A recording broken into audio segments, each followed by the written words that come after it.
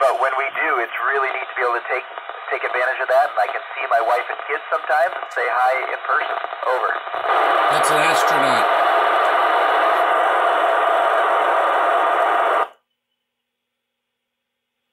Hey Lincoln, that's a great question. So we have to pick a time zone, and that's the one we live with because we go around the planet every 90 minutes. So we see a sunrise and a sunset every, well, 16 times during the course of a day. Uh, so if we were to go to the cupola, that uh, room that I was talking about, uh, you're right. We would uh, we would see the day uh, start and end many times. Uh, so we pick a time zone that happens to be in London.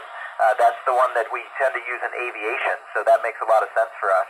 Um, and so we just live our normal day, and we don't really see the sunrise and sunset unless we go out of our way to go look out the window. So when the morning time to go to bed, we turn the lights down. Over. That is ISS. That's an astronaut on ISS. I'm picking up on the radio with my uh, base antenna on the outside of my house. Well, uh, at least two typically. Uh, as American astronauts, we're trained in Russian. Uh, but I'll tell you what, I'm up here with uh, Koichi Wakata, a Japanese astronaut who's actually flown in space five times. This is his fifth mission, and he speaks a lot of languages. His wife is German. He speaks Japanese, of course, and he speaks Russian and English, and probably a couple that I don't even know about. Over.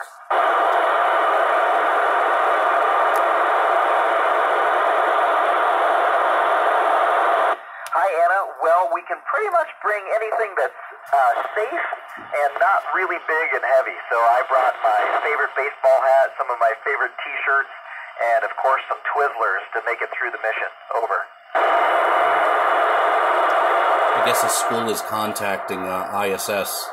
I'm not going to Well, interfere. we've got three robotic arms on the space station. Uh, there's one off of the Japanese module. There's one uh, off the Russian segment, and then we have the actual Canadarm here on the front of the space station.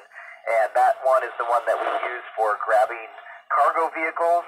Uh, right now, we're using it uh, because it's got a camera on it, and we're driving it over to a spot where we that we need to investigate uh, a system that we're having a little bit of an issue with. Um, but just uh, two weeks ago, I was on the end of the Canadarm, and my friend uh, Koichi was flying me around and putting me in position so that we could install a new solar array. That's an amazing robotic arm. Over.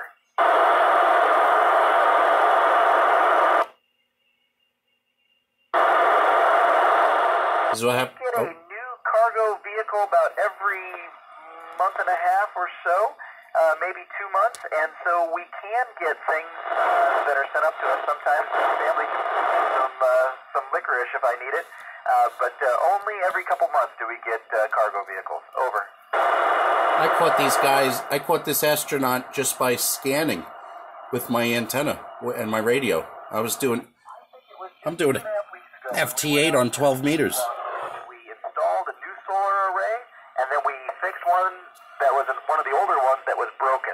And so, uh, working with an incredible team, we were able to really uh, make a market improvement on the electrical generation here aboard the International Space Station. Over.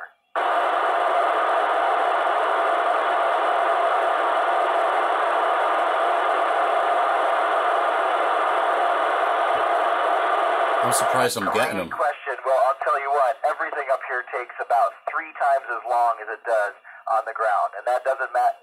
That makes no difference if you're trying to eat a meal, uh, use the restroom, or get uh, a project done. Everything floats away, and just everything is a lot more difficult. Over.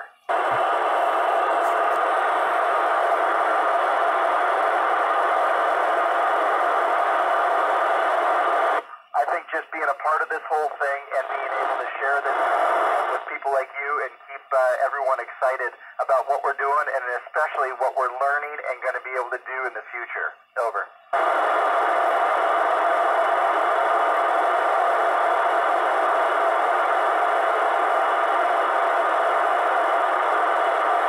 Hey, Kristen. Well, it uh, doesn't always take this long, but it took us 29 hours. So we spent just over a day in the Crew Dragon before we docked to the International Space Station, and then we've been here for a couple months since. Over. And this is uh, TYT TH9800. Nothing special. Well, this is my first mission. Uh, I was assigned to a previous spacecraft that uh, we haven't launched yet, and so they switched me over to a a new spacecraft so I could get up here and finally do my job. Over.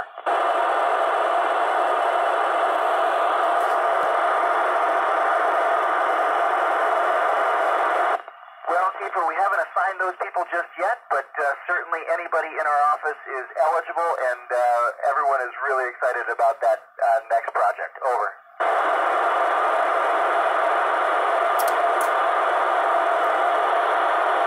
Hey, Becca, well, if we're lucky and we're going right over the launch site, we can look out that window and get a good look at it. In fact, uh, when we have uh, new crew launching to come up to the space station, uh, we tend to hang out in there and see if we can see them because we tend to launch right as the space station goes overhead. Over.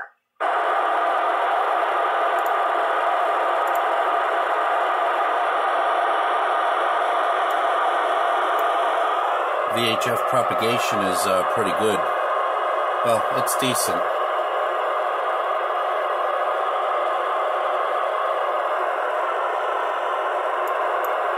Well, Victor Alpha 3, this is November Alpha 1, Sierra Sierra. The pleasure has been all mine. Thank you so much for taking the time out of your day to uh, to call the International Space Station, and we uh, we appreciate your support, and we're excited to share it with you. Good luck in all your studies. 73s.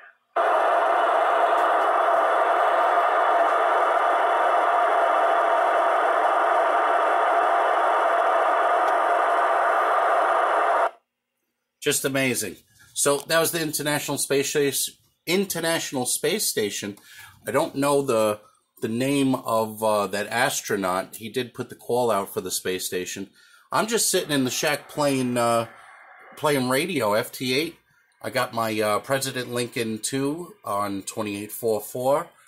I have the the 991A. I was just doing digital on um well that's the calling frequency for voice, but I was just doing digital um, FT8 with it and I was making contact on 12 meters uh, with Kilo Charlie 5 Roger Roger with the FTDX 10 and boom all of a sudden I hear uh, you know the International Space Station come on because I had this thing on scan. All I had it I just had it like like well it's on lock now but I had it on scan. So that just goes to show you leave it on uh, leave it on that frequency. You might hear them one day.